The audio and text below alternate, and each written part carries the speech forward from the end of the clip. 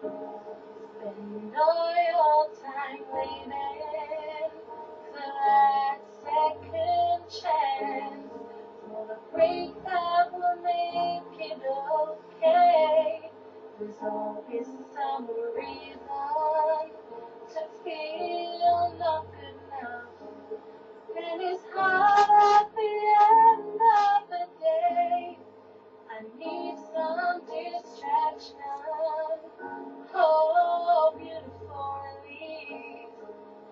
memories seep from my veins. They may be empty, or weakness there may be. You'll find some peace tonight in the eyes.